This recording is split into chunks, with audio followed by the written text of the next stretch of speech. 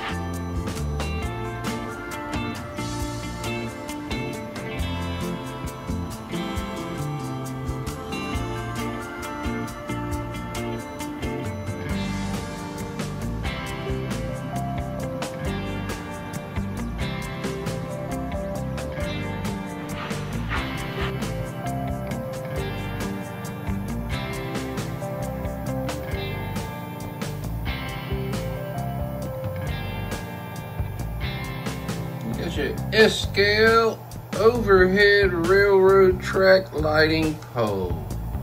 Comes complete with LED. Find these on our eBay store and coming soon to our Etsy store.